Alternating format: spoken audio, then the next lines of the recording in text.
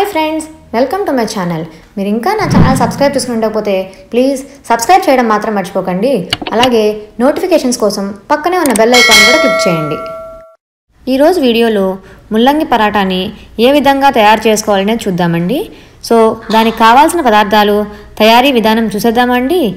ముందుగా ఒక బౌల్ తీసుకుని అందులో ఐదు గరిటెలు గోధుమ పిండి వేసుకోవాలండి.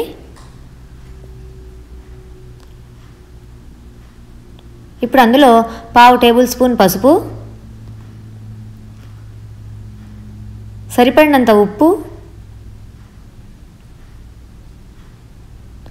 కొద్దిగా వాము అలాగే వన్ టేబుల్ స్పూన్ కారం వేసుకుని ఈ మిశ్రమాన్ని బాగా కలుపుకోవాలండి.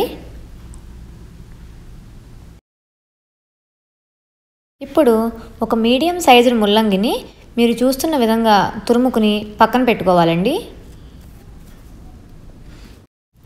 ఈ తురుముకున్న ముల్లంగిని ఇందాక కలుపుకున్న మిశ్రమంలో ఈ విధంగా యాడ్ చేసుకుని బాగా కలుపుకోవాలండి.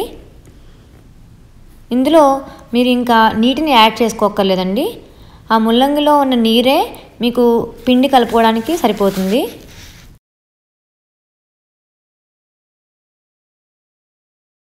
ఇప్పుడు మీరు చూస్తున్నట్లుగా పిండిని చాలా మెత్తగా కలుపుకోవాలండి.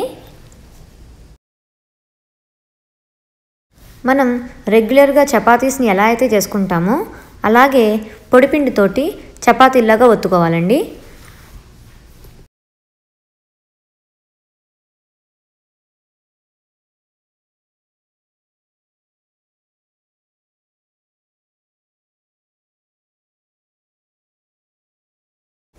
ప్యాన్ని మీడియం ఫ్లేమ్లో పెట్టుకుని మాత్రమే పరాటాలని కాల్చుకోవాలండి.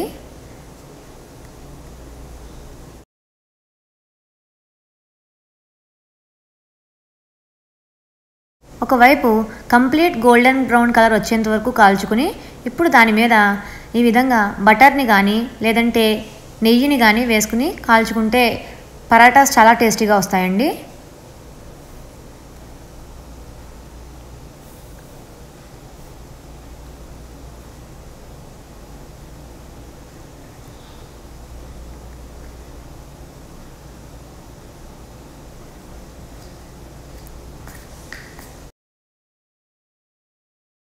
సో చూసారు కదండి ఎంతో రుచికరమైన ముల్లంగి పరాటా రెడీ.